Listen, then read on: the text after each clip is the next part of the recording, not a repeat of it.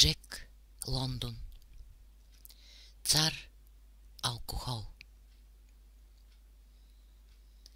Аз се опитах тук да изобразя борбата с бялата логика, която става в мрака на моята душа. Аз се мъчих според силите си да разкрия пред читателя скритите кътчета на една човешка душа, нападната от цар алкохол. Но читателят трябва да помни, че това настроение, за прочитането на което той е употребил някакъв четвърт час, е само едно от хилядите настроения на цар алкохол. И че тия настроения продължават понякога много дни, седмици и месеци. Моите алкохолни спомени наближават към края.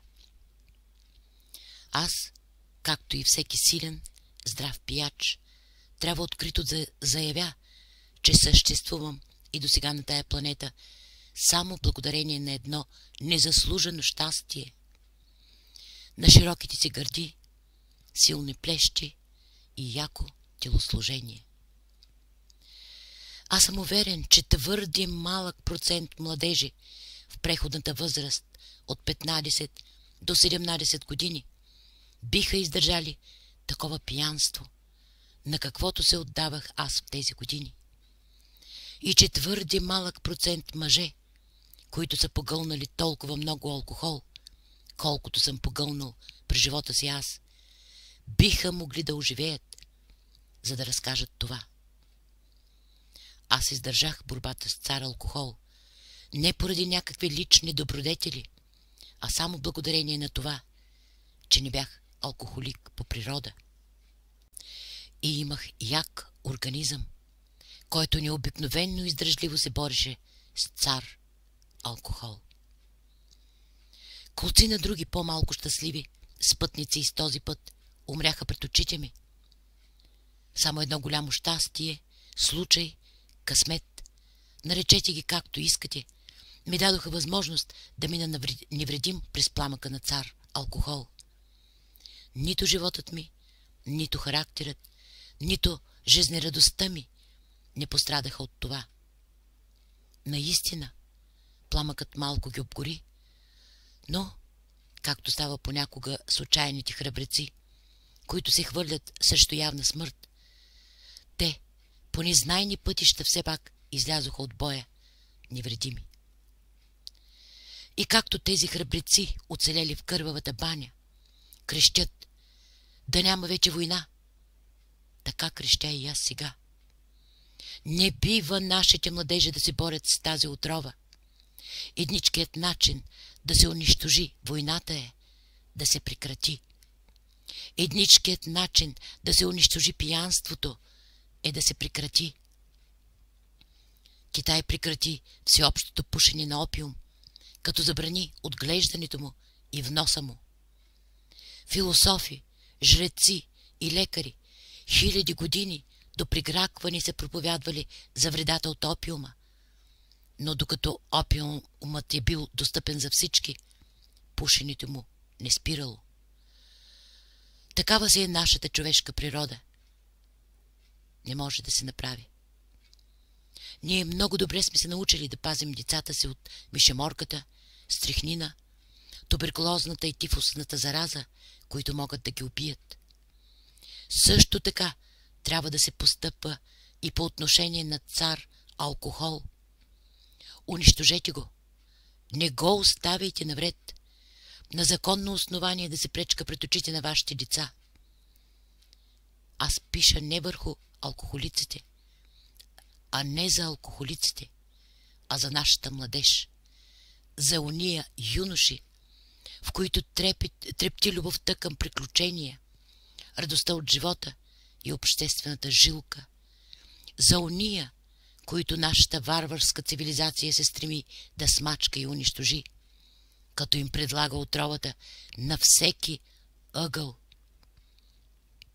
Аз пиша това за здравите, нормални юноши, които вече живеят на света и за бъдещите. По тази именно причина аз слязох долу в лунната долина.